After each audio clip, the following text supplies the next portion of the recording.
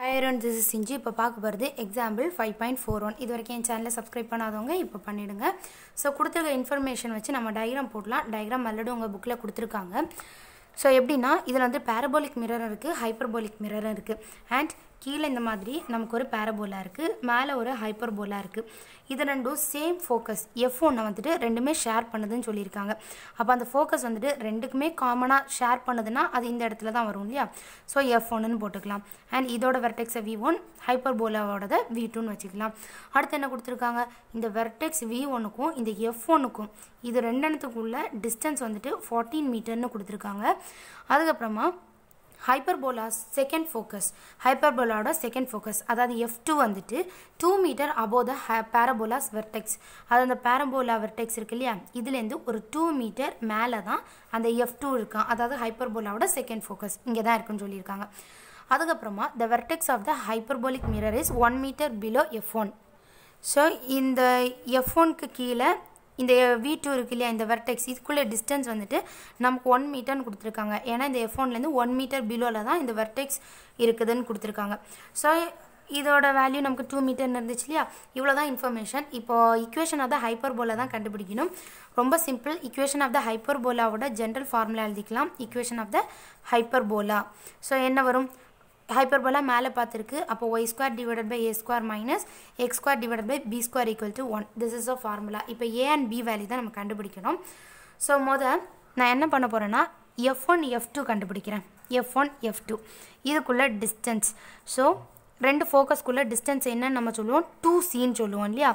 அப்போ பாருங்கள் இந்த டிஸ்டன்ஸோட வேல்யூ எப்படி கண்டுபிடிக்கிறது? இந்த வி ஒன்லேருந்து இந்த எஃப் ஒன் வரைக்கும் மொத்தமாக நமக்கு ஃபோர்டீன் மீட்டர்னு கொடுத்துருந்தாங்க. அண்ட் இவ்வளவும் டூ மீட்டர்னு தெரியும். ஸோ இந்த மொத்தத்துலேருந்து இவ்வளோத்தையும் ரிமூவ் பண்ணி தள்ளிட்டா போதுமா? நமக்கு எஃப் ஒன் எஃப் டூவோட வேல்யூ கிடச்சிரும் இல்லையா?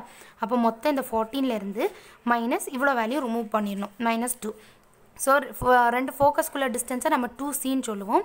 ஸோ இதை மைனஸ் பண்ணால் நமக்கு டுவெல் இல்லையா? சி ஈக்குவல் டு டுவெல் இந்த டூ அப்படியே டிவைடில் வந்துடும் so one two is two six two sir டுவெல்னு எடுக்கும்போது சியோட வேல்யூ நமக்கு சிக்ஸ்ன்னு கிடச்சிருக்கு.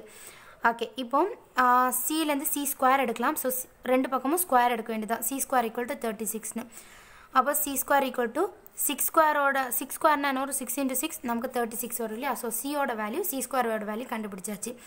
அடுத்தது ஏவோட வேல்யூ கண்டுபிடிக்க போகிறேன் ஏவோட வேல்யூ அப்படின்னா இந்த வெர்டெக்ஸ்க்குள்ள டிஸ் இந்த வெர்டெக்ஸ்லேருந்து இந்த எஃப் டூக்குள்ளே டிஸ்டன்ஸ் எடுத்தால் போதும்.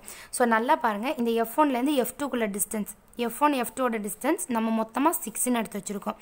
இதுலேருந்து இந்த எஃப் ஒன்லேருந்து இந்த வி டூ இந்த டிஸ்டன்ஸை ரிமூவ் பண்ணி தன்னா போதுமா? ஸோ மொத்தமாக இவ்வளோ எனக்கு இவ்வளோ தான் வேணும்.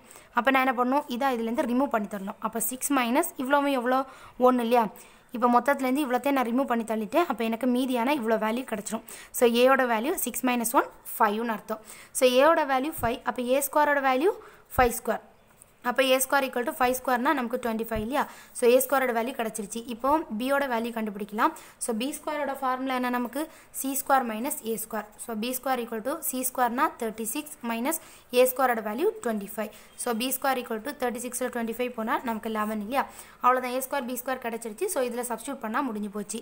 Y square divided by A ஸ்கொயரோட value twenty five minus X square divided by B ஸ்கொயரோட value eleven equal to one அவ்வளோதான் இந்த சம் ஸோ ஜென்ரல் ஈக்குவேஷனில் A square B square substitute பண்ணியாச்சு. Thank you don't forget to subscribe my channel